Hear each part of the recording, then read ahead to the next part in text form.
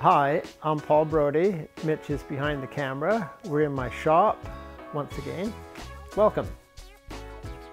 We're working on a front brake for a Aermacchi race bike and when we left off last time we had glued on this piece here. This is holds on the on the torque stay and I did a little bit of Bondo in here. You can see how this is all smoothed out. And then I also angled this. Those are the three Allen screws which I talked about to help make that even stronger. I used the paint that I got from Home Depot. When you spray it on, it's a gray. It gets kind of shiny. So you'll notice this is kind of a, a matte finish. So what I did, I took some Scotch-Brite, I dulled it down, and then I took a bit of polish. You can use whatever kind of polish you want, and then it kind of brings it up slightly. So that's how I get that antique looking finish. See where the air goes in right there? it's got a, a, pretty good shot and this is angled so I think that's better than just having that straight so the air doesn't just hit a wall it at least angles in. I also made up a, a linkage here. These are little little bits of, of bronze and then I took an Allen screw, a stainless steel Allen screw. I had to take a few thou off to match the size of the hole but that's a, that's a pretty nice fit now. There's maybe a thou clearance there it's adjustable. This is a piece of shrink tube. Let me show you what I did here.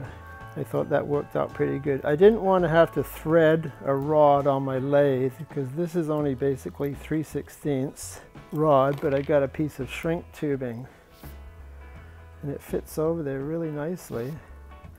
And it hides all the threads and it's kind of a, a dull black. I like that. These here, these are the the cams uh, uh, for the brake. So what I did, I wanted to save weight. I drill the hole down to about where my thumbnail is. Also drill the hole there, save 42 grams. And on the stock brake, the stock Honda brake, these are the, I call these the brake arms. That's where the spline goes in. So what I did is, I'm making my own brake arms, so I cut a spline. That's the first thing we're going to do today is we're going to match the spline. It's uh, a 31 spline, so it really is an odd number of degrees. It works out to 11.613 degrees. So we'll go over to the mill now and we're going to make a spline in this piece of metal here to match this spline. Can you see this? I sharpened up a piece of tool steel. It's got one point, so it's a single point tool. And I have to put that aiming, aiming towards me, and then I move the piece into the tool. Then it takes a cut. And then I, I turn it. So I got to show you this. I made up a, a piece of cardboard and it's got all of the all of the cuts I have to take so each cut is 11, 11.613 degrees. So you have to change that into minutes. So it's 11 degrees, 37 minutes. Because on the dial here, it's in minutes. Do you see here how it goes from, it go, starts at zero, it goes up to 60. 60 is the next number. So you have to have to dial in in in degrees and and and the minutes. So it's a little bit a little bit technical, but putting some some cutting oil down there. So on this operation, there's no there's no noise really. There's no sparks. It's not exciting like watching a chopper being built. So here's a cut. That's one cut. So now I turn it. I'm going 11 degrees and 37 minutes. So there's my 37. So that's my second cut. Now it's 30, it's, it's 23 and 14. So I keep on going like that.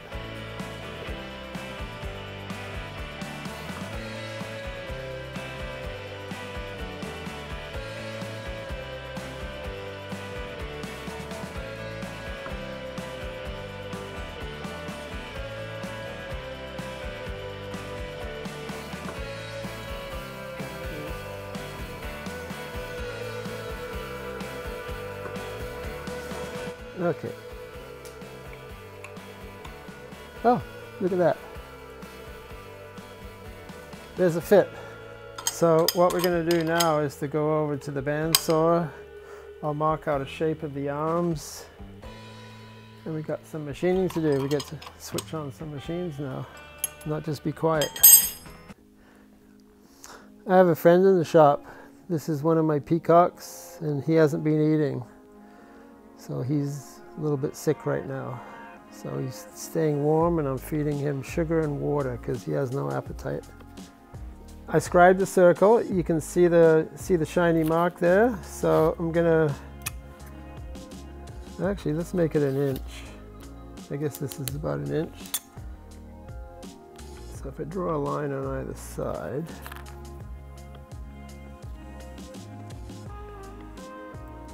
and these two arms aren't quite the same. They're similar, but not quite the same. And then there has to be an Allen screw that goes in here. There's going to be a slot. So this gets cut off. Maybe I'll leave a little bit extra on there. Let's cut it off right about there. And so this metal that I'm using here, it was a bicycle fixture for years and then it, it didn't get used anymore. So it's, it got taken apart.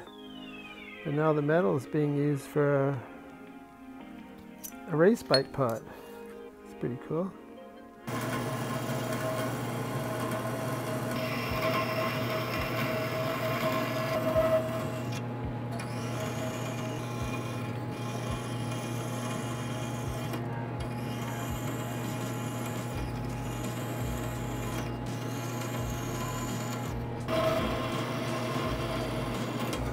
Let's go mill some flats, save some weight, make a little scoop with a ball end mill and things like that, okay? over to the mill. I've got a really sharp end mill, M20, so I'm going to be milling in metric. So I've got a little height block sitting on top here and I'm lining up my felt pen mark. Doesn't have to be super accurate, but there you go.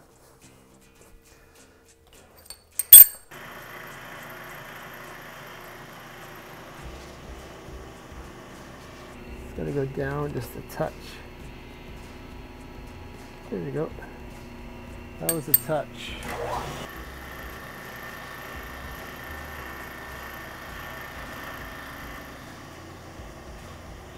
There we go.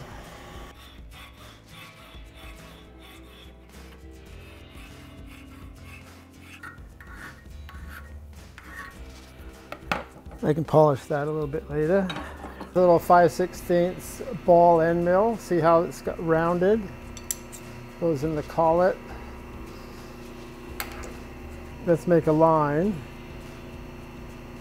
I think I think we'll go up to there. That looks okay. And then a little bit inconsistent here, but you know, this is art in a way. Why don't we go to here? So I'm, I'm matching up the surface with the height block. That's what I'm doing. So if I do that the same on all of them, then if I go down the same amount, we'll be good. Let's start out at 50 thou. Oh, that's 100. Wow, that cut really quick.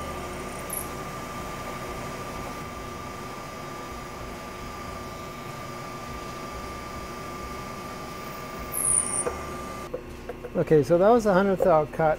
It's a little bit, a little bit rough, so I'm going to take another little cut. I, I kind of like how far down it went. So why don't we go to say one 110, and I'll take another cut.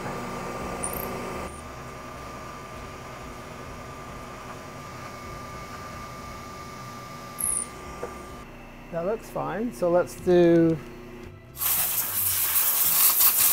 Let's do all the rest of them now.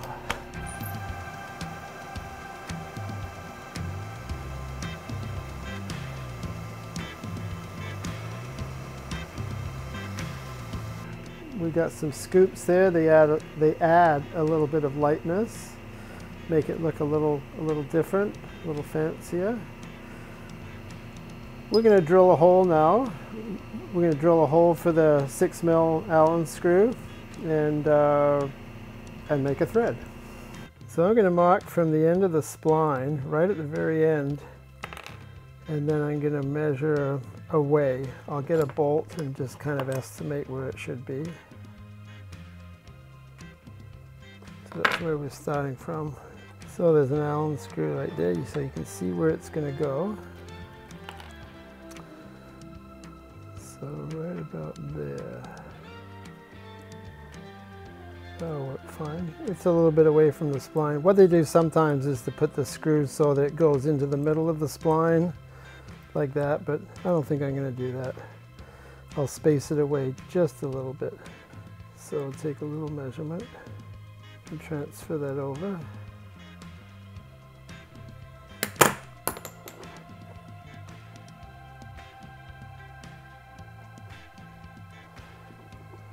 So that's where the hole will go, right there.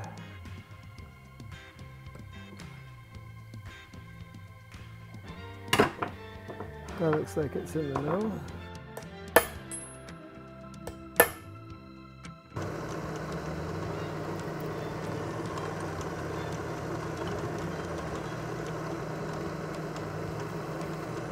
So it's a six mil thread, so this is a five mil tap drill.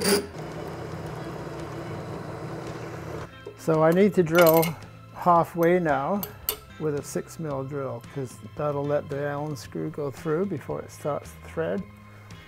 So there's a six mil.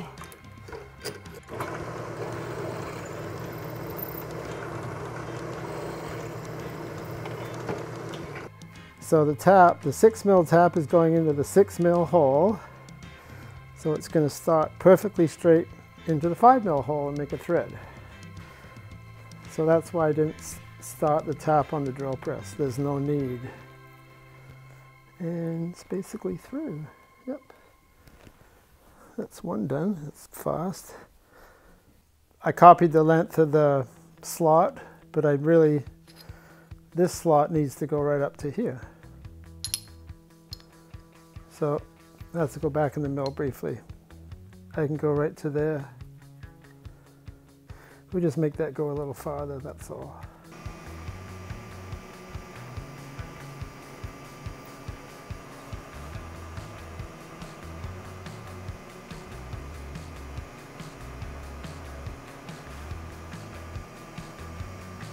So last operation on the mill is to do the slot.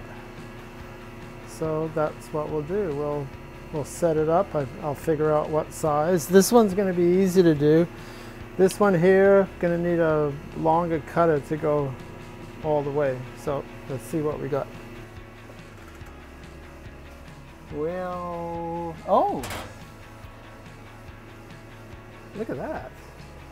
Haven't used that one for a very long time. And, uh, oh, if I'm going to go in all the way, I have to go in a little offset to go far enough. No, that, that'll work fine. That's a good little slotting saw. Okay, I think we're good to go.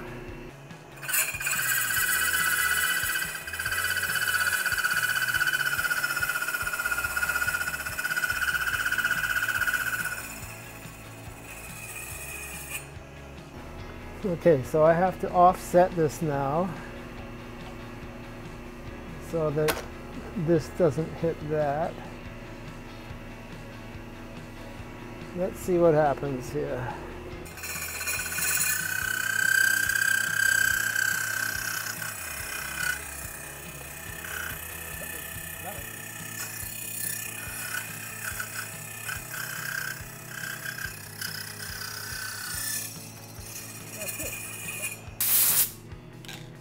There's our two slots. They're, they're very, very narrow slots, which I like. I don't like big, wide slots. Just needs a little bit of file up now, take off the burrs, and we have a couple, a couple brake arms. Very nice. We're on the last stage of, of the front brake. What we're going to do now is to assemble it. This is the backing plate. This is the inside of the backing plate, and this is where the I've got the new linings put on. These are those Ferodo linings. They're the green ones from England. They might have asbestos in them, I don't know. I got some white lithium grease. Use it on bicycles a lot. And the hard part is to, is to get the, the brake shoes on and the springs. So we'll see how that goes. I don't want excess grease in here because if it gets on the linings, that's not good. These are the springs. I don't think it matters which goes where.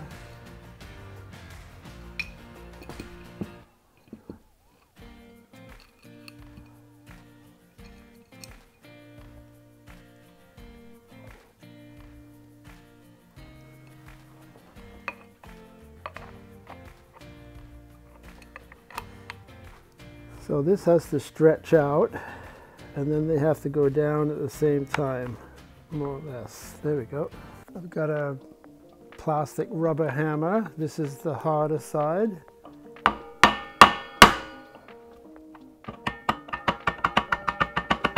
I'm just wiggling it a little bit. There we go.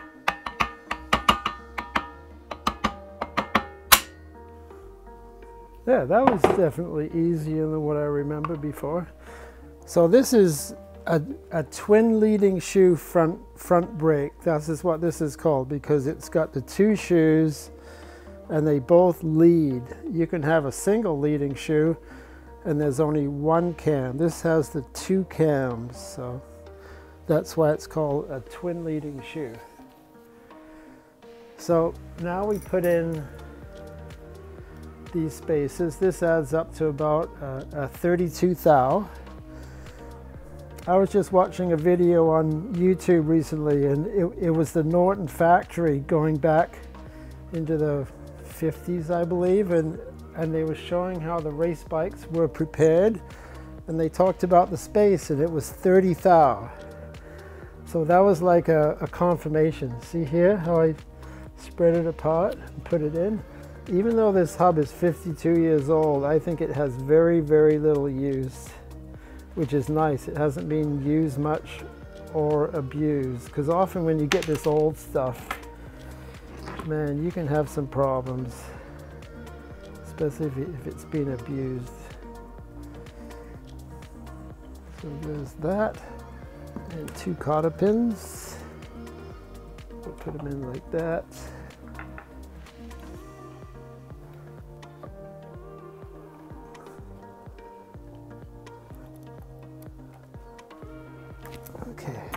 So what I'm going to do now is to grab a large vernier and we're just going to see how much extra there is here on the brake shoe as compared with the drum.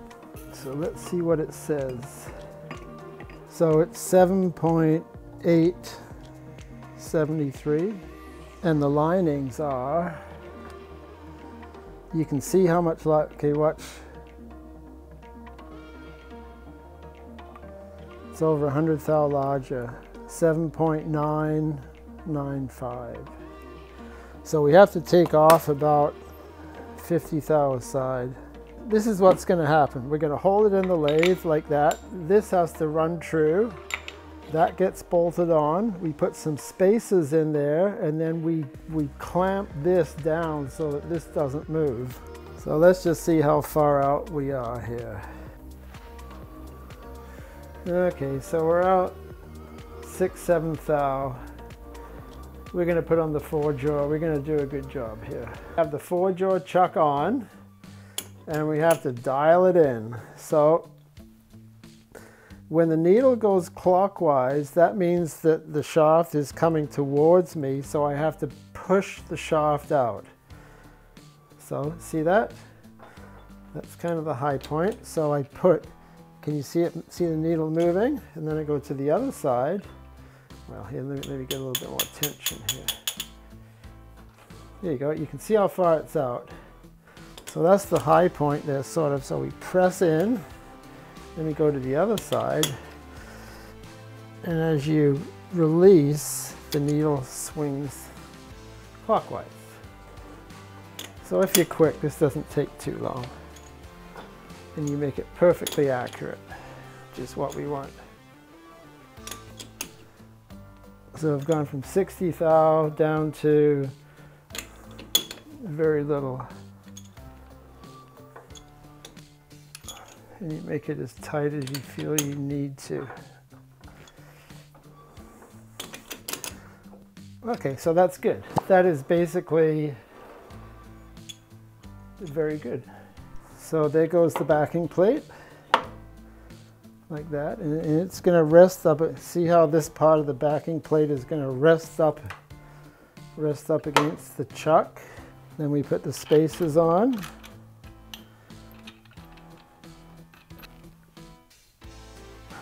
I've got a carbide tool bit.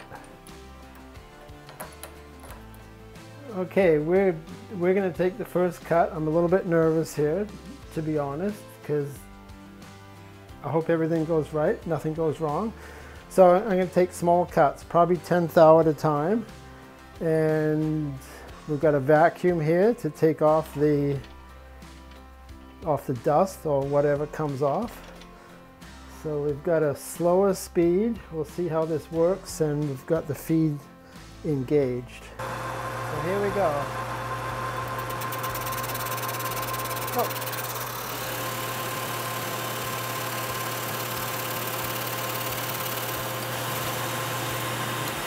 Okay, look, I want to show you something here. You can see see how it's touching here, but it hasn't been cutting here. Well, I'll, I'll make some marks here and then you can see as it comes down. Is it the same? This one seems to be cutting most, most of it. So the shoes were pretty good to start with. It does look like it's cutting. Anyway, that just shows us where it's not cutting.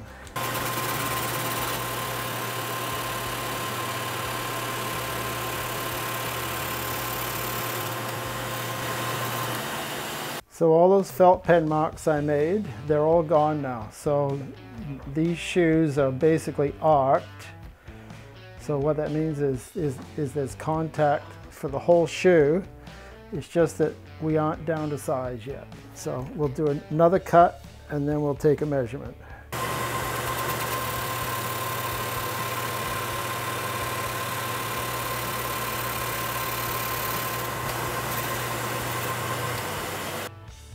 We're going to take another cut of 5 thou and then we'll take it out and we'll check it because then I think it's done. So there's the 5 thou cut.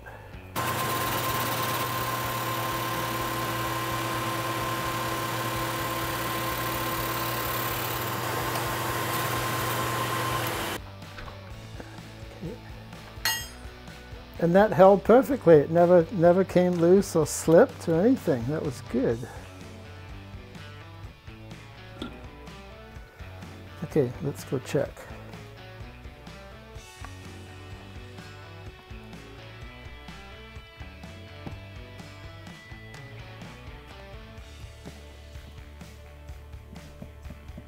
That's a pretty good fit. That's more or less parallel. I can always fiddle around with it later.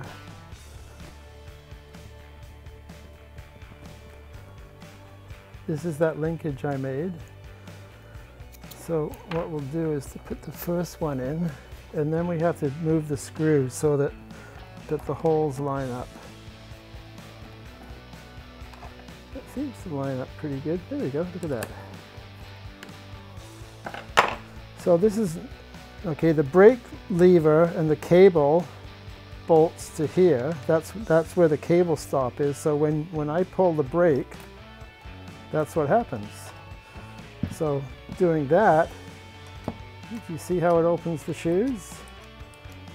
That's how it works. So this is where the shims come out now. There we go. So one set of shims. Two set of shims. Okay, so it fits in. There we go. And look at that.